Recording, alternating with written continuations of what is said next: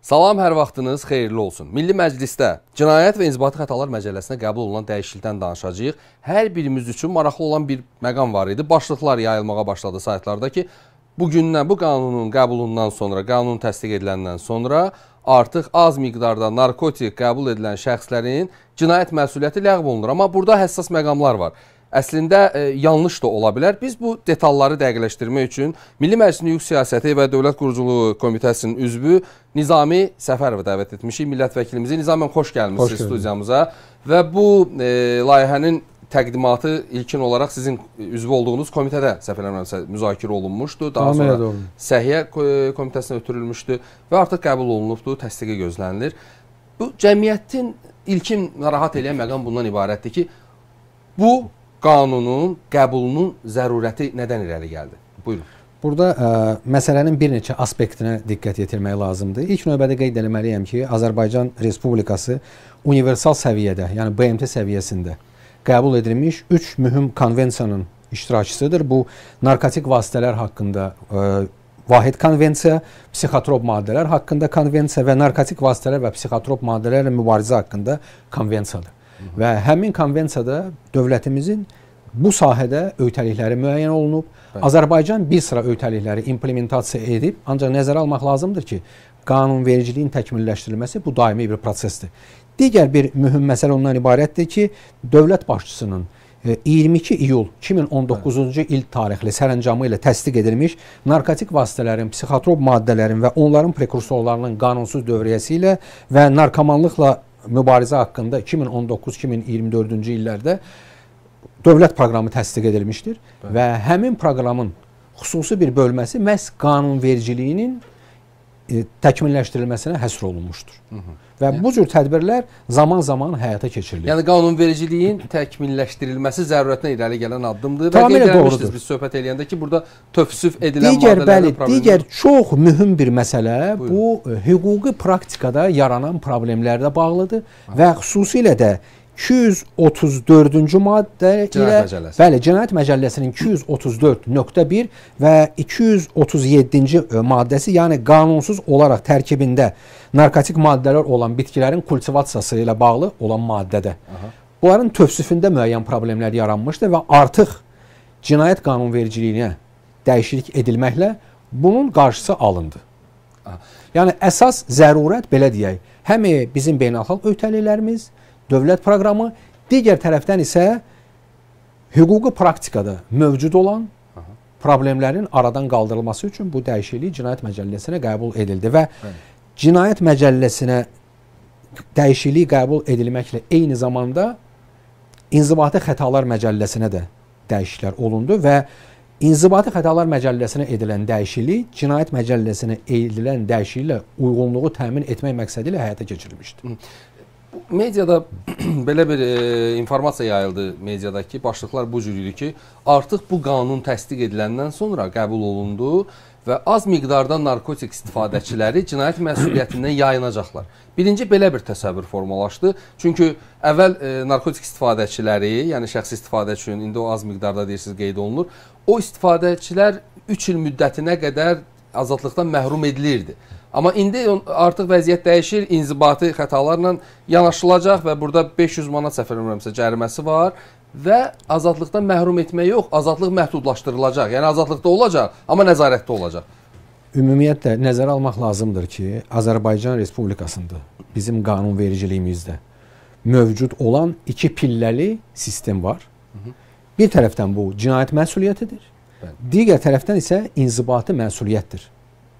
Bunları bir-birindən fərqləndirmək lazımdır. Şübhəsiz. Və e, Cinayət Məcəlləsində də indiyə qədər şəxsi istehlak miqdarı termini istifadə edilirdi. Ancaq son dəyişikliklərdən sonra. Cinayət Məcəlləsinin 234.1-ci maddəsinə xeyli miqdar daxil edildi. Və xeyli miqdar daxil edildikdə İnzibati Xətalar Məcəlləsinin 206-cı maddəsinə, yəni qanunsuz olaraq narkotik vasitələrin, psixotrop maddələrin isteh istehlakı satış məqsədi olmadan şəxsi istehlak miqdarında hazırlanması əldə edilməsinə görə məsuliyyət müəyyən edən normada yeni bir termin az miqdarda termini öz əksini tapdı. Nə qədərdir bu az miqdar? Yəni çox ə, çox maraqlı bir sualdır, mühüm bir sualdır. Əlbəttə ki, bizim tamaşaçılara da bu maraqlı olar. Bəli, Nəzərə almaq lazımdır ki, 206-cı maddəni, yəni İnzibati Xətalar Məcəlləsinin 206-cı maddəsinin qeyd hissəsinin ikinci bəndində birbaşa göstərilib ki, az miqdar dedikdə narkotik vasitələrin və psixotrop maddələrin müvafiq qanunla müəyyən edilmiş xeyli miqdarından aşağı miqdar başa düşülür. Nəzərə almaq lazımdır ki, 2005-ci ildə xüsusi bir qanunla şəxsin cinayət məsuliyyətinə cəlb edilməsi üçün kifayət edən narkotik vasitələrin və psixotrop maddələrin miqdarına ha belə onların külli miqdarına görə siyahıları təsdiq edilmişdir 28 iyun 2005-ci il tarixdə və bu qanun qəbul ediləndən sonra biz müzakirə etdiyimiz qanun qəbul ediləndən sonra həmin qanunda da dəyişikliklər aparılacaq və bu miqdarlar müəyyən ediləcək. Yəni miqdarların müəyyən edilməsi həmin siyahıda özünü biruza verir. Qanunla təsdiq edilən siyahıda. Siz bir millət vəkili kimi, həm də vətəndaş kimi də, yəni sizin mövqeyiniz bizim üçün çox önəmlidir. Eyni zamanda da bu qanun layihəsində də sizin iştirakınız var qəbulunda.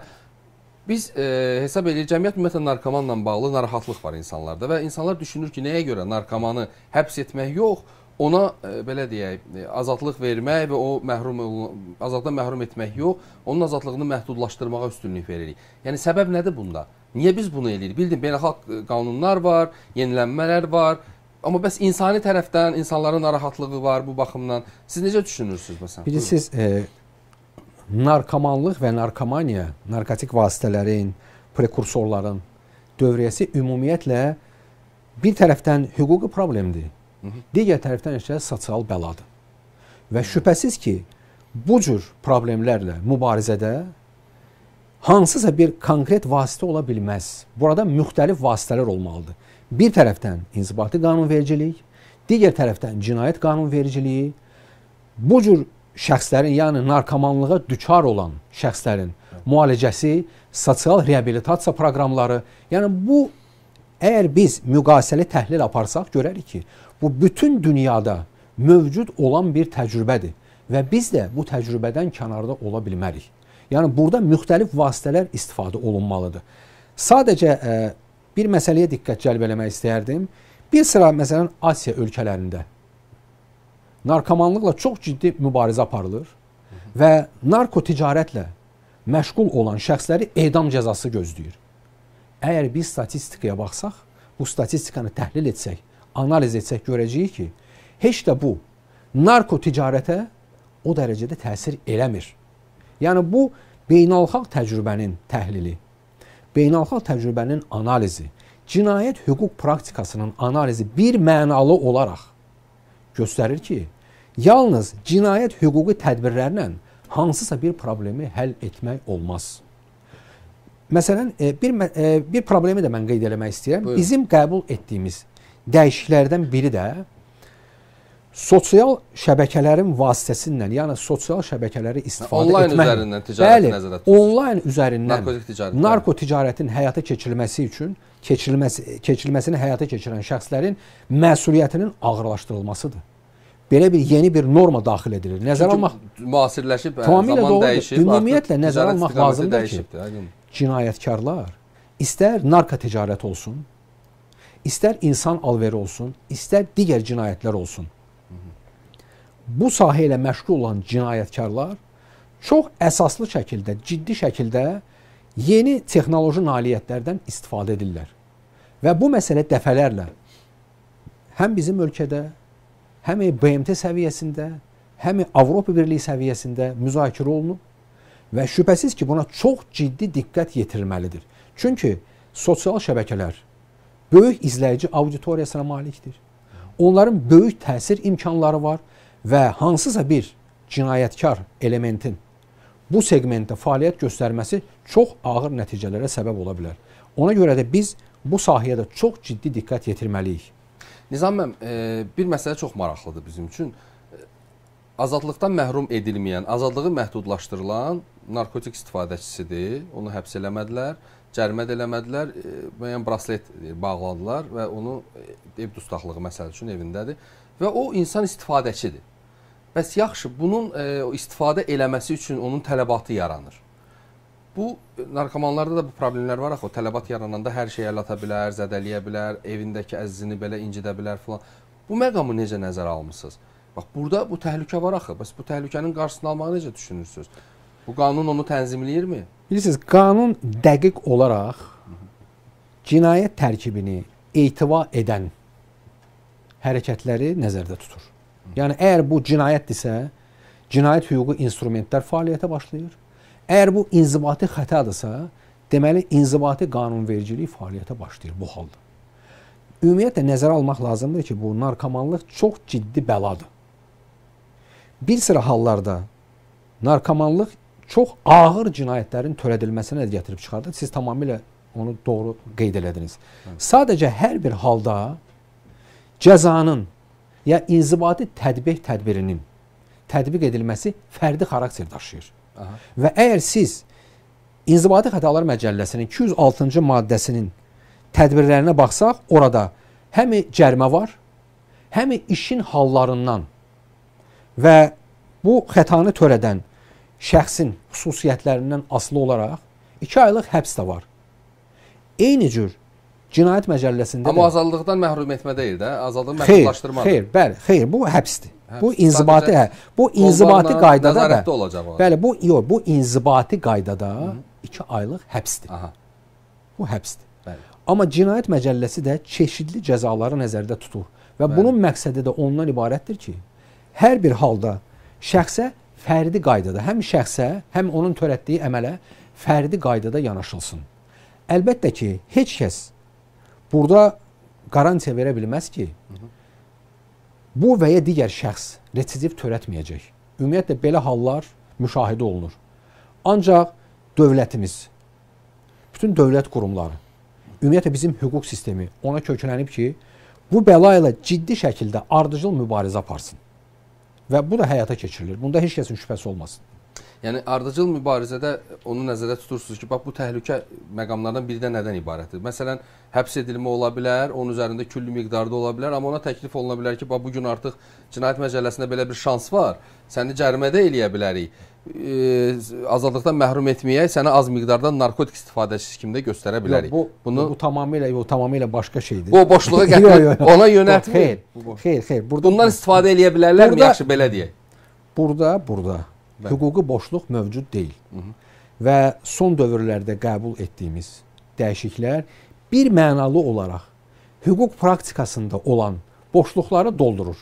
Hə. Çünki hüquq praktikasında bəzi problemlər meydana çıxırdı. Mən qeyd etdim. 234.1 və 237-ci maddə ilə, yəni bunların arasında bir problem var idi. Problemlə ondan ibarət idi ki, o qədər də ictimai az ictimai təhlükəli əməl başqa cür yaxud böyük ictimai təhlükə kəsb edən əməl az ictimai təhlükə kəsb edən əməl kimi tövsif edilə bilərdi. Ancaq hal-hazırda qəbul edilən dəyişikliklər bu məsələyə çox ciddi hüquqi aydınlıq gətirdi. Amma narkotik istifadəçisi Bəli. cəmiyyət üçün təhlükəli deyilmi?